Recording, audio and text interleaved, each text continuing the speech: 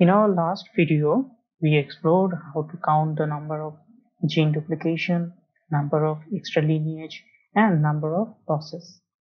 We solved problem number one in our previous video. Now we will look into problem number two. And in the end of this video, I will show you a formula by which you can find the third variable if any 2 is given. So let's solve problem number 2. First, we draw the species tree from the numeric representation that was given. Then we map each internal node of the gene tree to the corresponding internal node of the species tree. We start from the leftmost internal node in the gene tree. We can see A and C are sister nodes. This internal node, this internal node will map into this internal node. Because this is the lowest internal node by which A and C is connected, A and C is connected in this species tree. Similarly, for the parent of D and E, we can see that it maps into the root node of the species tree. Okay. Similarly, other internal nodes will map into the root node of the species tree. Now we have completed our first task. From here, we can see that the number of duplications is 2 because three internal nodes have mapped into the same point. We count the duplications as mapped points minus 1. Now we draw a line which represents the gene that we are discussing. Before reaching the speciation point, this gene will get duplicated twice. From, from here, you can see how it is being duplicated.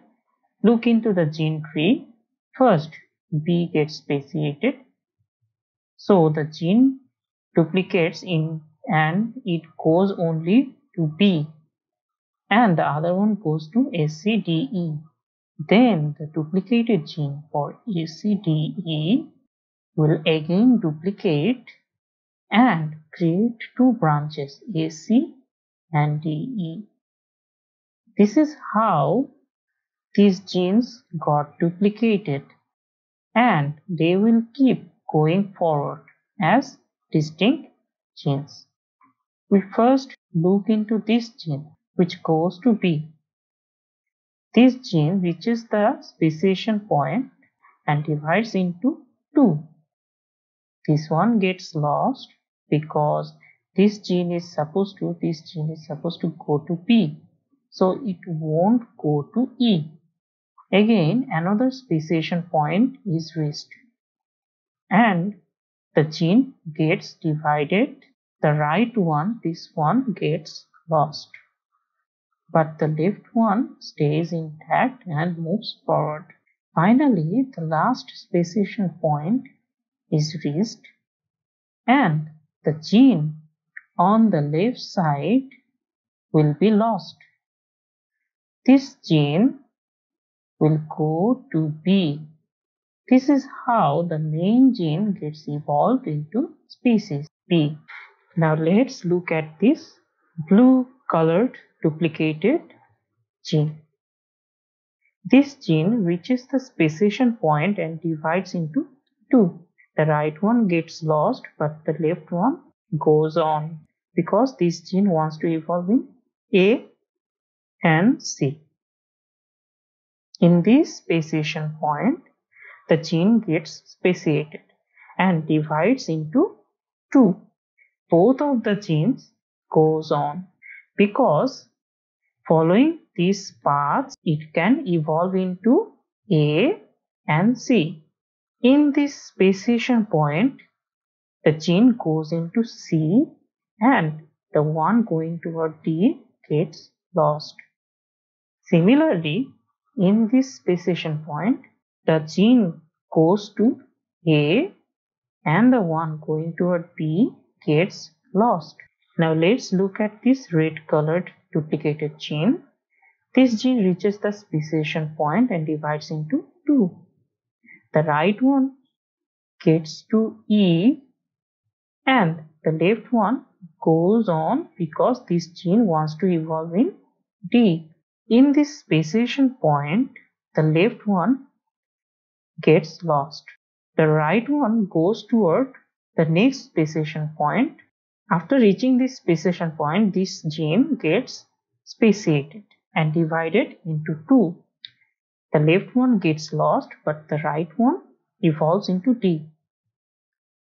So this is how the genes evolve in this species.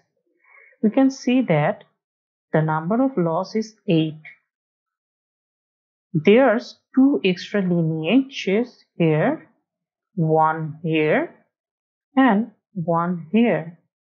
So total number of extra lineages is 4. Let me remind you, we count only extra lineages only between two adjacent two adjacent speciation points. We don't count loss genes. We don't count these lost genes as lineages. Now, for the last part,